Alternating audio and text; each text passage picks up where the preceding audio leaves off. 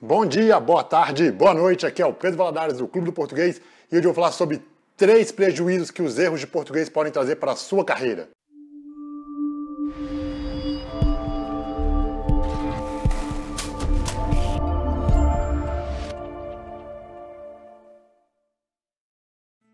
Número 1. Um, perda de credibilidade. Se você recebe um e-mail de uma pessoa escrevendo prezado com S e não com Z, você já vai começar a desconfiar que aquela pessoa não é tão qualificada para aquela posição quanto você imaginava.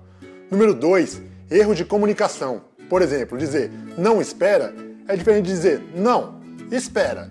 São duas mensagens diferentes e que mudam o significado somente pelo uso da vírgula. Então, se a vírgula estiver empregada, ela tem um sentido e se não tiver, ela tem outro. E número 3 é a perda de produtividade. Se você passa uma mensagem confusa, você vai complicar a vida de todo mundo na sua equipe, que vai demorar para entender o que você está querendo com algum e-mail, algum memorando ou algum outro documento escrito, e isso vai prejudicar a produtividade geral da equipe. É isso, pessoal. Espero que vocês tenham gostado. Se gostaram, clique aqui no joinha, se inscreva no canal para receber o aviso dos próximos vídeos. Eu fiz um outro vídeo falando de três dicas para escrever melhor. O link está aqui na descrição. Assistam lá também, vale a pena. Um grande abraço e até a próxima.